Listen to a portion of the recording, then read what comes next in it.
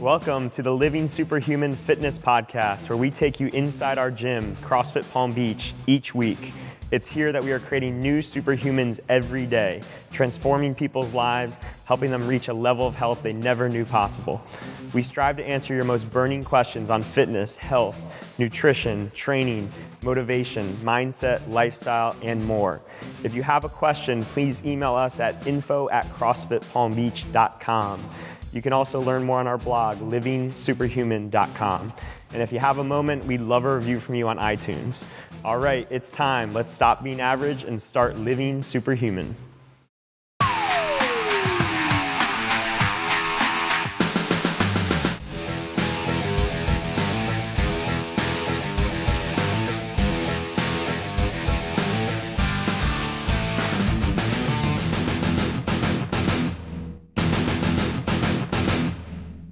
Hello, and welcome to the Living Superhuman Fitness Podcast. My name is Andrew Frezza, and I am joined today by Whitney Stevenson. Austin Vettigrew. Tony Frezza. And you have reached us for the Core Values Podcast. so today we're going to be talking about um, some of our core values that uh, Tony and I set about two years ago and have really um, defined a lot of the ways that we make business decisions, how we run the gym, um, how we speak to our coaches, how we speak to the members, and um, just things that we, we really value a lot in our lives. Some of the things are things that we've valued our entire lives, and it's something that has been really important to us, been kind of a staple in our development as people and as coaches. Other things are things that are newer, things we've picked up in books, um, and other things are things that are almost more like reminders to Tony and I. And um, when we get off track, these core values really keep us on track. So I think uh, some of these things will be really valuable to you guys um, for your own lives, whether that be in work, personal lives, and then other things will just kind of give you a glimpse into how we run the gym and why we run the gym this way. Um, so, yeah, I think um, if you know, some at some point or in some way, someone's in charge. You're in charge of something, right? You're in charge of a kid. You're in charge of your job, a business maybe, like having those core values to guide you is so important. Like we find it in our meetings all the time. We have these problems come up and it's easy, it's convenient to like be like, wow, that like fits under that core value. And like we have an answer. You know, rather trying to like troubleshoot something for hours, we really just come back to our values a lot. And I think for anyone that's in charge of you know their family or business like set those core values like as soon as possible they will get refined over time you know you can take another months or years to refine them but try to get them set yeah, we, we were prompted from the book Traction, um, which if you have your own business or if you um, have a team of people that you work with, I would highly recommend that book. Um, but basically, they, you know, simple exercise you can do on your own. Spend a couple hours, get some stuff jotted down, and then just kind of let it marinate for days and weeks. And I mean, it was probably we originally did this about two years ago, but it was probably six months after that till we really had something that was like concrete and we felt confident like yeah this is what we really stand for and um, this is what we want to to run our lives by. So um, the first one our first cfpb core value is we are a family. And things that kind of fall under this is like introducing yourself to others knowing everyone by name um, treating people like a guest in your home um, when we have new people that show up for the first time cleaning up after yourself and, and always leaving the gym better than when you walked in. Um, and then there's this quote that's really good, which is uh, from Greg Glassman, the founder of CrossFit. And he says, We are not in the phys- fitness business, we are in the relationship business. And that's something that we really uh, believe in first and foremost is fitness is kind of a byproduct of, of one, having a great program in CrossFit.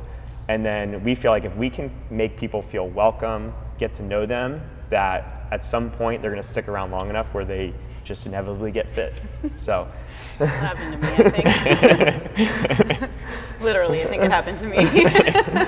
Because I remember I moved up here and I was looking for a gym to go to, and I wasn't like kind of sold on coming here. I don't even think I took a class. I think I just came to Open Gym to like check it out. And then I forget who I talked to first. I think it was you. I think it was we me. talked Yeah. for a while, and then I didn't really come back. And then you called me, and I was like, oh, he's calling me. what is this about?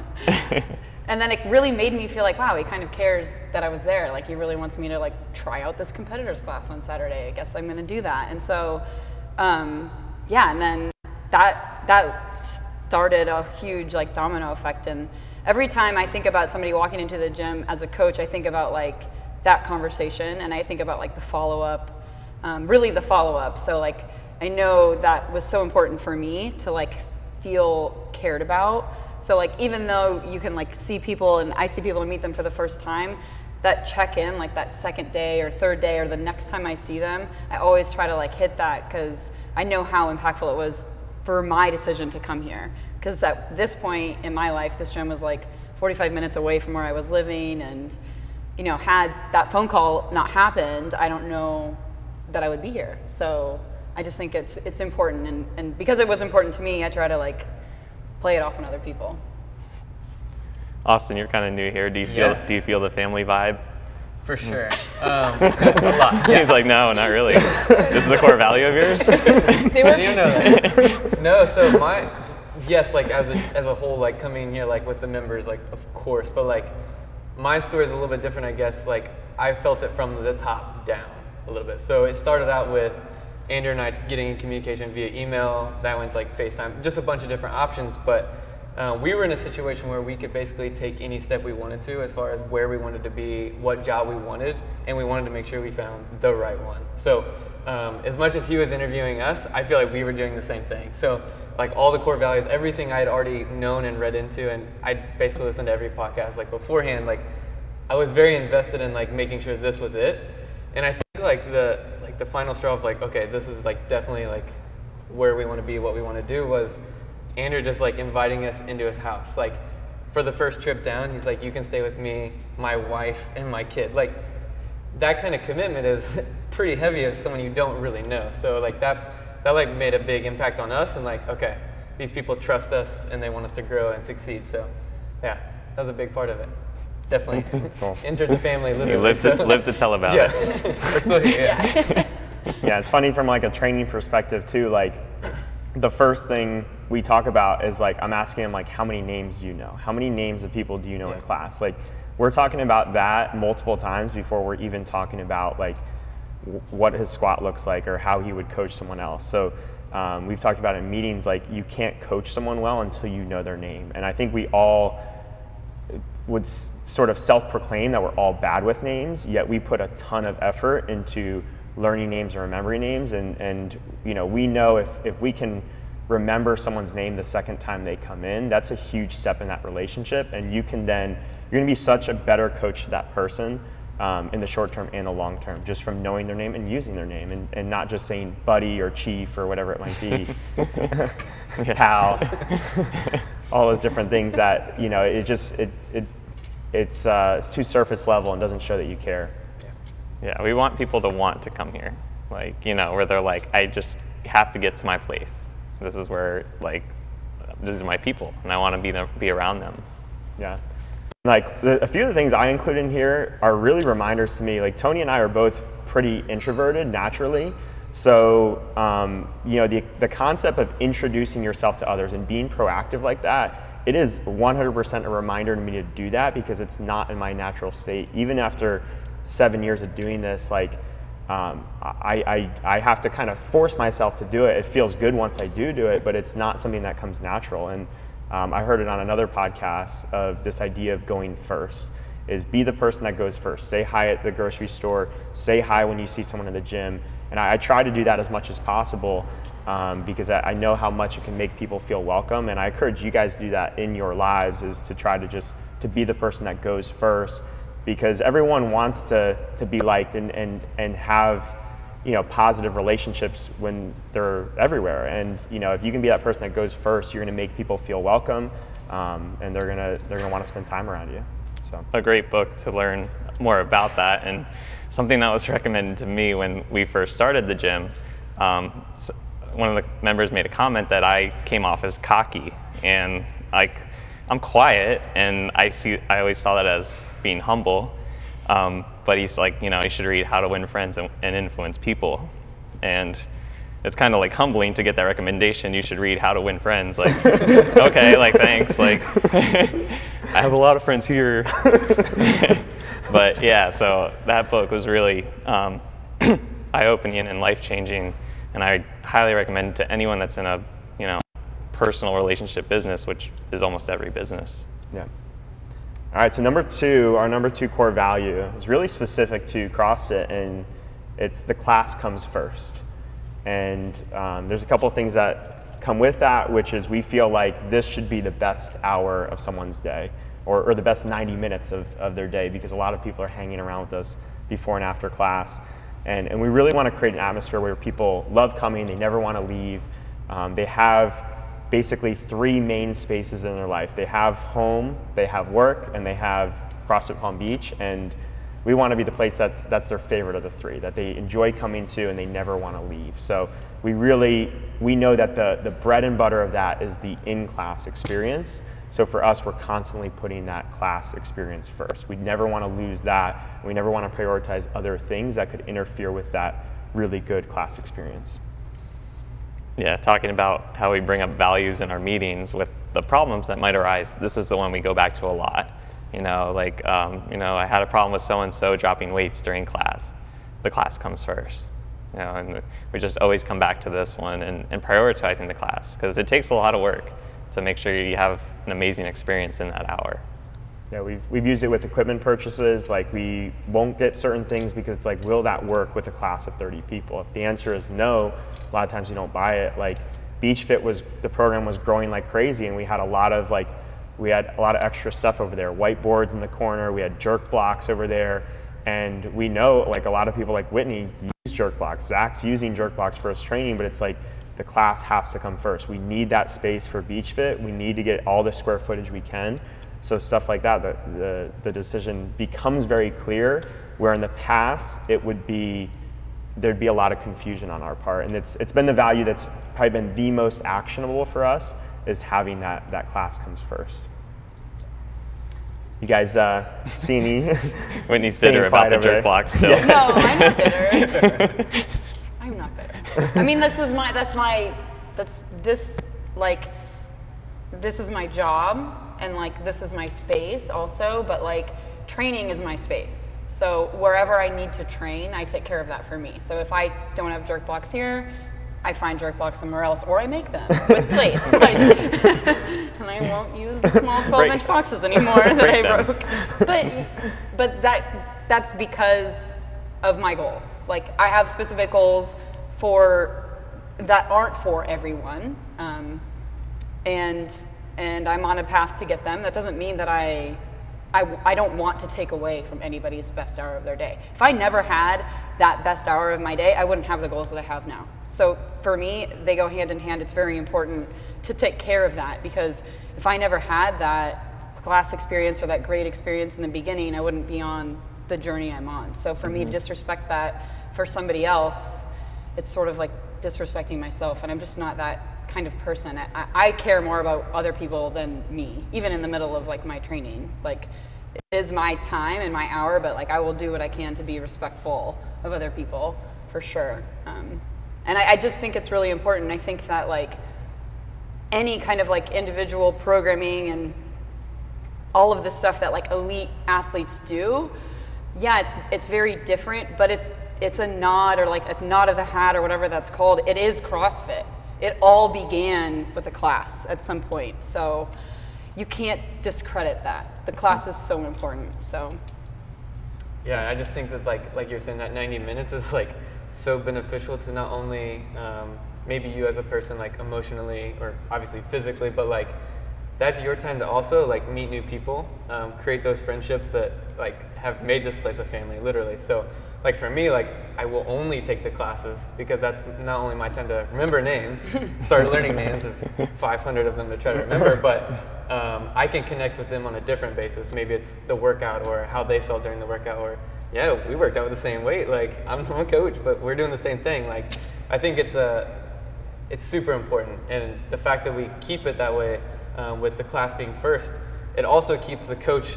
super interested and not only interested but like aware of what's going on. They don't have to worry about the plates slamming in the back. But like that one second they look over and completely forget what was going on in the class. Like so it allows them to stay on task and just the whole experience be on point.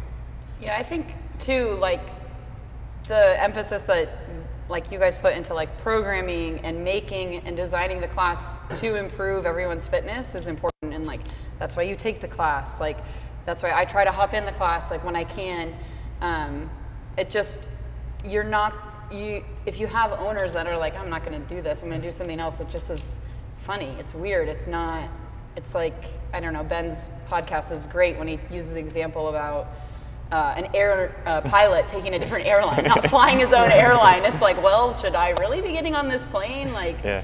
you know, it just kind of puts thoughts in your head that maybe something is amiss. And because you guys all take the classes, I do it when I can, and I think it just goes to show that we can speak to what we're putting on the whiteboard.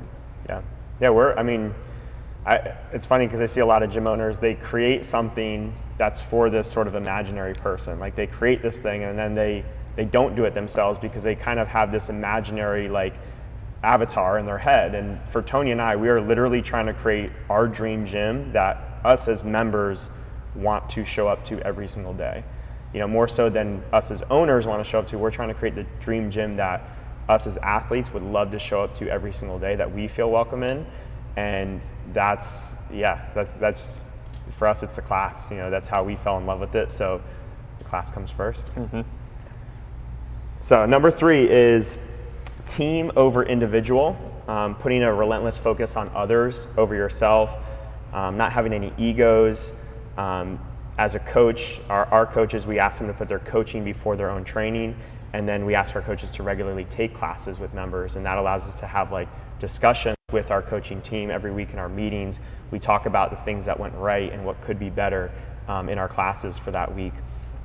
Um, and th- this this one for us, Tony and I both grew up playing a lot of team sports. Primarily, baseball was our main sport, and we both played on plenty of teams that had all the talent in the world that did nothing. And we played on teams where you looked at every individual on that team, and no one was exceptional, but as a team, they were incredible and they were unbeatable. And I think we we both really enjoy being a part of a team. We we love seeing like that ability where the par- the whole is greater than the sum of the parts.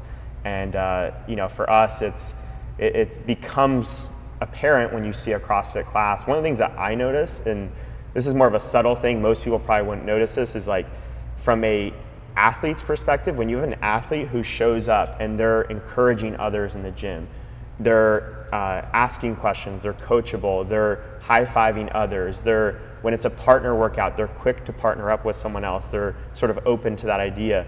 Those people do better than the ones who are just focused on, am I getting what I need to get out of this experience? And it's crazy by by coming in wanting to give to the community as a whole, you get more in return. It's this ab- abundance mindset. Yeah, it's uh, a rising tide lifts all boats. You know, don't wish that the person next to you is going to go slower so that you can win. Wish that they're going to go faster because that, that they push you faster. I might right? have done that to Austin today. Didn't work. You know? Hopefully, he pushed you to go faster. No, I, I, I think this one has been huge since I've been here. It's like there there could even be something that we like disagree on in one of our meetings, but like as a team, we have to come together and see something completely through the exact same way. We can't be giving like missed messages to different individuals or different athletes. I think that part has been huge, um, regardless of it's trying to create a better warm up or maybe it's a nutrition thing that we different we have different opinions on, but we have to come together for the best for the individuals or our clients or our members, um, but do it as a team so that we're all giving the same message.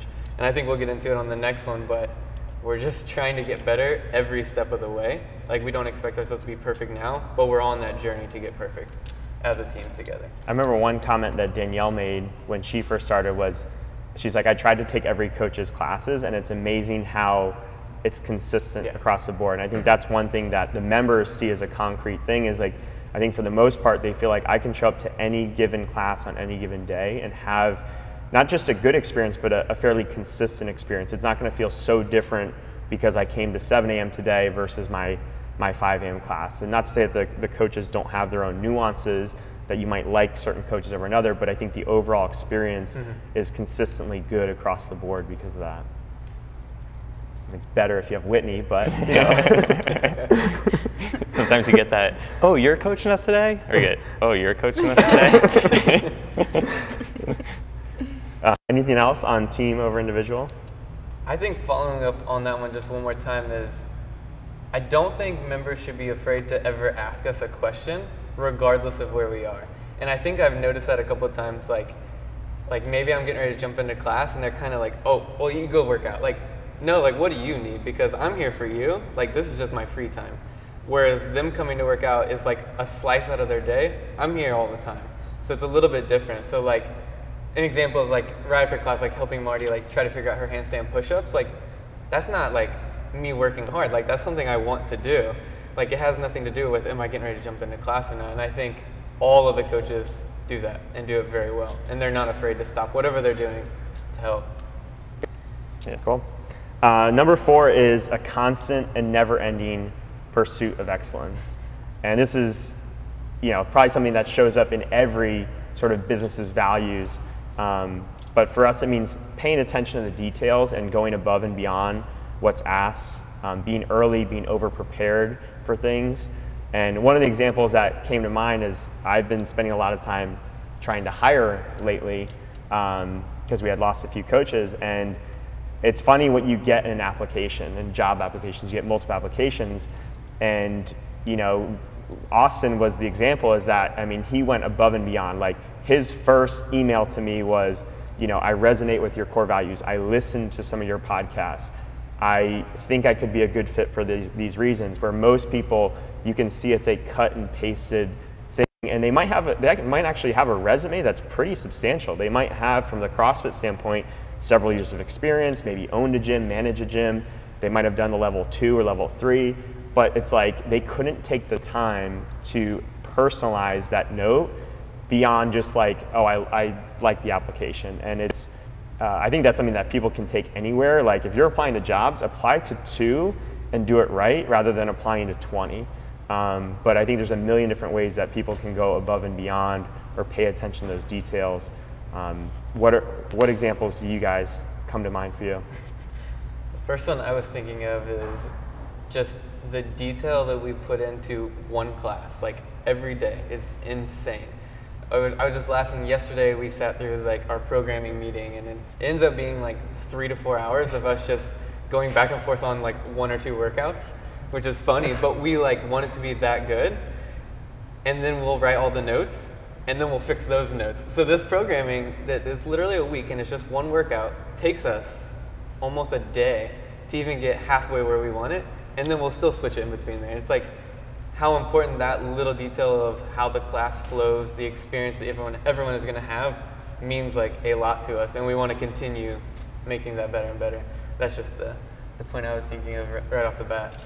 Yeah, and also like we clarify that pursuing excellence is different than chasing perfection, right? Where we know like ch- we'll never be we'll never be perfect, like we just can't be, but we can try to be excellent and be more excellent with every day. Um, and then talking about like coaches preparing their warm ups and stuff, like a lot of thought goes into that. And also, like, coaches don't go, that's the perfect warm up. Like, don't you dare change it. Like, we're welcoming feedback. Like, how did it go? How did it go this morning? Could it be better? And they, we come out of classes saying, you know what, I would change this. Like, I thought it was great, I thought it was excellent, but you know, you, you should probably change this. And the coach is open to feedback because they know nothing's perfect one way I've seen this like kind of evolve over the years is like uh, just like staging the gym. Like you'll see us put a lot of time and attention into that. Um, you know, staging the gym, make sure it flows, make sure if we do have a class of like 35 people, we're prepared when that comes in. And you know, there's still days where that that doesn't always happen perfectly, especially with uh, the big 5 a.m. classes we sometimes have or 5:30 in Beach Fit. But um, we're constantly trying to make it better. And when something goes wrong, we're trying to figure out how can we prevent that from happening the next time around. All right, so number five is extreme ownership of everything in your life. And this one was really inspired by Jocko Willink, who wrote a book called Extreme Ownership. That's where we got that phrase of, of extreme ownership. And there's a lot of things that fall under that, like living with honesty and integrity, not gossiping, um, and, and, being willing to have uh, difficult or uncomfortable conversations to be able to communicate to the people around you of what you're feeling because people don't always know what's going on inside your head, your mind. Um, so trying to just over communicate things as much as possible. yeah, I think I, that was one of the things, and even going back, it kind of goes along with the last one. Is I'm like looking for Andrew or Tony, like as soon as the workout's over, for them to like give me some feedback, regardless of what it is. I'm like searching for that so that I can continue progressing and taking ownership of like my class. Like, was that the best I could do? Was there something I could tweak? And like, it's just funny. Like every class, I'm like, all right, where are they at? Like, I'll go find it. like, let me have that face-to-face talk with them, and like, what can I do to progress myself and um, keep myself in ownership and like of the, the things that I do like in a class where make sure I'm just going in the right direction is basically what I'm trying to say the entire time. So taking ownership of that. Yeah, I I mean, I don't know. I love this. This is like these two are so important in my life, just like as a my own core values, not only here, but there's like a saying, and it's written literally like scribbled on this CrossFit gym uh, that I go to in California. It's uh, how you do anything is how you do everything, or how you do everything is how you do anything. You had it right the first time. The first one, yeah. Edit How that out, Mike. Anything. How you do anything is how you do everything. Yeah. And it's and it's so true. Like when you cut corners in one piece of your life, you, it's gonna show up somewhere else. And like, and that's something I've worked so hard on. And um, as somebody who regularly closes a gym, it would be super easy for me to like not help the people that are helping putting stuff away. Uh, you know, not sweep chalk that's like re- remaining chalk on the floor, not put things up or set things up for the next day. Like I could literally just lock the doors and leave. Probably wouldn't have a job here very long, but you know, like that's that's the mentality people have. You know, and um, like Your every night- drawings on the whiteboard, like that's pretty awesome every single day. yeah, I mean, I like put effort into that because I know like how I do this is, and this may sound silly to somebody, but it's literally how I will think and when I work out. It's how I'm going to act in a relationship with somebody I care about. It's how I'm going to be when um, my car gets run into. Like if I am lazy or uh, slacking off here, it's showing up, it's going to show up somewhere else where I don't want it to. And I don't even want it to show up here. So again, if, I'm, if it's happening somewhere else over there, it's going to show up here. So that's, again, I'm never perfect. There are not nights where I'm like, oh, I, I'm going to sweep the freaking rope hair. But, or I'm like, oh, maybe Jenny's coming. Like, I don't know. But, you know, like there's, it's never perfect, but it's always something that is in the forefront of my mind. Um, and it's something I look forward to do now. It's like actually uh, like the drawing. Like I couldn't save 15 minutes and not make a cool drawing, but I always look forward to doing that because it's it's something. It's like part of what it's part of my ownership here as a coach. Um, We all look forward to seeing them in the morning. We come in and we're like, let's I- see the drawing. I love claiming them the next morning. um, one of the, the real actionable ones for me and uh, for our staff is, is no gossip. And this one is so, so hard to do, but it is so important. And basically for me, like gossip is such a, it's such a vague term, but it is whenever you have an issue with some someone that's you know not 100% positive it, it's kind of gray area or it's possibly a negative thing is when you mention that to someone else that isn't that person that's gossip and there's there's so many times that i think it most shows up as venting um, I- you know i'm venting about this thing. I'm getting it off my chest and it's it's masked as that but it's really gossip. It's putting uh, a, a wall or a barrier between you and that person that that issue's with when it could have been quickly cleared up with a an uncomfortable but not as an, it's, it's more uncomfortable to think about than it is to actually take action on. A lot of these conversations are not that uncomfortable when you actually do it. Um, it's just more uncomfortable to think about it. But once you take that step you start to remove walls between you know you and other people and it's it's really hard to do definitely not perfect at it but having this as part of our core values is something that keeps it top of mind for me to whenever there's something that needs to be said say it to that person say Yeah. it directly to them I think it's it's that's one of the things that was a core value in our or my other job. It was you know deliver feedback in the moment and like don't have background conversation around whatever it is that's going on between you and so and so. Like between you and me, if we have something going on, like I'm if I'm going and telling somebody else, like that's background conversation, that's just making it worse. And typically, when I find myself having like an issue or something comes up in between me and somebody else, it's usually a problem I actually have with myself. like it's really not even them, but it's like they're bringing out something that like bothers me about me, or maybe they do something like one of my old habits, and I'm Yeah, like, it's usually an old habit. yeah, right? there, it's usually some kind of like reflection, and um, and that's why it's so like bothersome and sort of like a sticking point. But if you can kind of get into the conversation and talk about it, you're gonna end up better because of it. It's gonna it's feedback to you know build you like or move you forward in a way.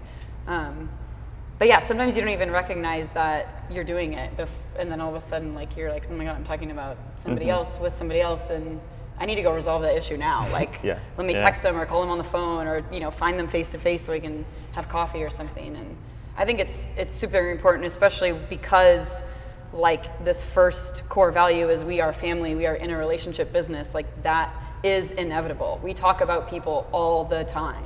And we want it to be glowingly positive, but you're gonna come across a bumpy road every now and then. Mm-hmm. and you might have problems that come across the table that you had nothing to do with, Yeah. right? And it's up to you to take ownership of that problem in a way where you pass it on to the group or the next person in a way where you did something to help put out that fire, right? Instead of like, you know, getting the oxygen going and making that fire bigger, you actually did something to try to cool it down at least, right? Because um, I think that's a big part of owning what's around you is like not just brushing things off or making them worse for other people. I especially learned that at home. This is probably the biggest one that I take home with me. As you mentioned, Whitney, you take it into your personal life. It's like when, when our kids, we have my son Dylan who's four and Ariel who's two, when they have a problem, I don't just pass that on to Shannon and say like, "Hey, did you see all that poop on the floor?" like, it's up to me to own that problem. You know, get out a wipe or something first, and then tell her that there's poop all over the floor. That leads us into our preview of our next episode, which is going to be the all poop episode, Yeah. labeled the shittiest episode ever. True story on that. Um, and our final uh, core value is living with a growth mindset. And uh, it's something that came from another book. I don't know if it was introduced to us through this book, but it definitely hammered it home for us. Uh, the book Mindset by Carol Dweck is awesome book, one of my favorite books ever. And uh, just this, the idea of never stop learning, never stop growing, um, and so much of your ability to improve is the mindset you take into a new activity or a, a regular activity. It, it starts in the head, and that's what enables you whether to break through plateaus or never plateau in the be, in the beginning, is to have that mindset. I know you guys are bookworms, so well, I think for me it was uh, I had a fixed mindset, and I was under the impression like you either have it or you don't. Um, whether that was like a product of, A fixed mindset. well, I mean, yeah, I mean, I don't know what it was a product of, like an environment thing, like you know, being in college and like being on a scholarship, and then uh, like having your coaches recruit other people, and then they're like take, trying to take your place, or sort of like. But I, I came into CrossFit with a with a fixed mindset, and so um, it was sort of like, well, I can do these, but I can't do this, and I don't know if I'll ever be able to. And the growth mindset is more of that like, yeah, you can't do it today, but we can work at getting there, or we can take steps to get there. And it was literally life changing, like to be able to switch your mindset and to know how influential your thoughts are on your progress. Like once you're able to kind of like make the switch, it's like, oh, like it's sort of like a little like pressure valve, like, oh, like I, I'm, I'm fine, I'll get there. And now you have an, a big opportunity for like new goals, um, new progressions. Uh, keeps you motivated. No matter how good you get, you're gonna want to get better. No matter where you're starting, you're gonna want to improve. So I, I think it's just so important. And like the more you can practice it, because I, I do believe it is like a practice, a state of mind, um, especially if there are people who just don't have growth mindsets like from birth the more that you can practice it the more it's just going to become like a natural thing and like if you have an hour here to practice it then it's just you're taking it out into the world and living a better life because of it Yeah, one of the big parts of it is like uh, like understanding that a growth mindset doesn't mean you're always growing. It means there's actually like a lot of times where you're not at your peak because you kind of like peak, like you might PR something, let's say, PR 100 pound back squat, but for the next several weeks you can't hit 100 pounds. So you're sitting below that threshold for a while before you then hit another peak and kind of break through again. So it, it's this idea of like being okay with not being your best like every single day because it's you're going to eventually break through again and kind of hit that next thing of growth like being prepared for that Yeah, and just knowing like growth is not like a linear, whether it's you know physical growth or mental growth, emotional, whatever. It's never a linear path. It's always kind of like up and down, and like maybe it's along this linear like incline, but it's it's never just straight. It's always kind of taking a little bit of dips and and rises, and I, I know that just for from training and um, training my whole life, knowing that it's the road to being and getting better isn't always putting one step in front of the other. It, it's doing that in a sense, but knowing like you're gonna get knocked down a couple times, you're gonna get buried a couple times, you're gonna fall a couple of times, and it's how you're you're getting back up, and it's not taking you off that path to wherever you want to be. I just I think it's also like super important to surround your surround yourself with those type of people, and it's like why that it's so exciting to be here now. Is like even in those simple like coaches meetings that we have, it's just everyone questions stuff regardless because they want to improve in whatever the facet may be, um, and it's so huge. And Andrew and I were talking about this the other day. One of the biggest reasons Danielle and I decided to sell our gym in the first place was because we felt like we were getting stagnant or even maybe declining maybe because of like fatigue because it was just us coaching like constantly every single day and we were just like in it the whole time. But i felt like we just got to this point where like we're not really putting like the effort that we should be putting to like improve it or us. So it's like we had the offer so it's like yeah let's let's take that step and like change where we're going right now in life for like the better. And i think like finding this and like finding you guys who like want to better yourselves regardless of what it may be every single day it's like it's so good to be around and feel every day so Yeah. For a coach, it's huge. Like to, to have that mindset, because you're not only thinking applying it to yourself, as you guys mentioned, but you're applying it to the people you coach. Mm-hmm. And like if you think they can improve, they're here, you know, can't get a bar overhead, that's where they'll always be. You're not going to be a good coach. Like you have to have that growth mindset, not only apply it to your own life, but apply it to the people you work with, right? So that you can you can foresee them getting better, mm-hmm. right? Because that's going to keep you involved and engaged. It's kind of funny you say that because like we're so some of us are so ingrained in it when we're coaching on the floor that like when we're telling someone to scale back, we're doing it with the mindset they're not going to be there for very long. It's going to make them better. And sometimes we don't do a great job of communicating that because it's like, oh, I think you should go use less weight today or do do chin over bar pull-ups instead of chest bar pull-ups because we're like we know it could look better and if it looks better it will then enable you to do the higher skill the heavier weight better later on. And sometimes we just go straight for that because we're so in that growth mindset where someone if they're a little bit in that fixed mindset or just maybe more like trying to you know compete that day or whatever it might be they might not realize that. But just realize if we are doing that stuff it's usually in the best interest and a lot of it's because sometimes it takes those little steps backwards to take big steps forward. Yeah. It just takes it's so much patience. Like no one really thinks about how much patience like getting better is. But I saw like Tony posted on it was a comment to someone the other day. It's like look where you are right now, but in like one year from now, if you look back at this, you're going to laugh like at the progress you've made in that little time. I think it was Clint's snatch Yeah. video. it was like it's it's true. Like Yeah. you think you're at your best right now, and you just PR and you're like so happy. But like you have no idea if you continue on this mindset, be patient with the process, like where you will actually be in that next year or next couple months or whatever, whatever the timetable is. Yeah. And uh, I mean, a lot of this stuff lot just came from know our dad in the gym.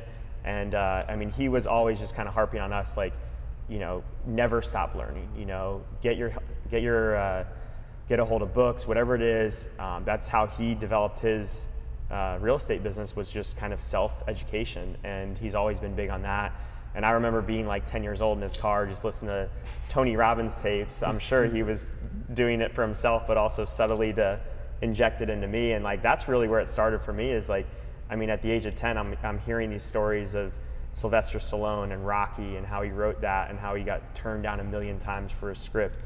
And uh, you know, throughout my life, when I hit challenges, like I went back to to Tony Robbins stuff, and that's really where that personal growth stuff started for me, and it branched off to a lot of other different things. So I don't know if uh, you've had similar situation, Tony. Oh, definitely. I mean, I feel like reading the book Mindset was so great because it was like what our dad always taught us put into word, like finally put into like word form that we could read and like go back to and share with others. And yeah, I've it's the most recommended book that I've ever, you know, given out to people and bought for people by far.